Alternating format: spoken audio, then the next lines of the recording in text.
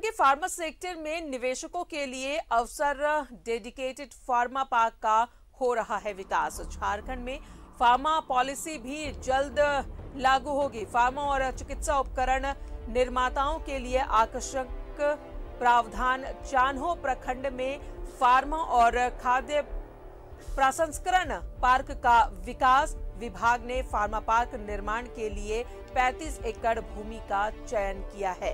सूक्ष्म, लघु, मध्यम और बड़े पैमानों पर उद्योगों के लिए 55 भूखंड आरक्षित। इनमें से 30 भूखंड सूक्ष्म फार्मा उद्योग के लिए आरक्षित किए गए हैं। चौदह भूखंड छोटी इकाइयों के लिए, सात भूखंड मध्यम इकाई के लिए सभी आवश्यक बुनियादी सुविधाओं से लैस होंगे ये पार्क।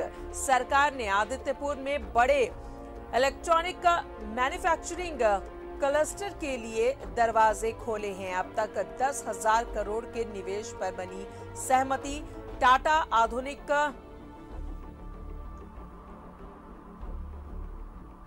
टाटा आधुनिक डालमिया सहित अन्य कंपनियों से करार हुआ है। एमओयू झारखंड में निवेश लाने और रोज़गार सृजन की राह पर काम कर रही है सरकार।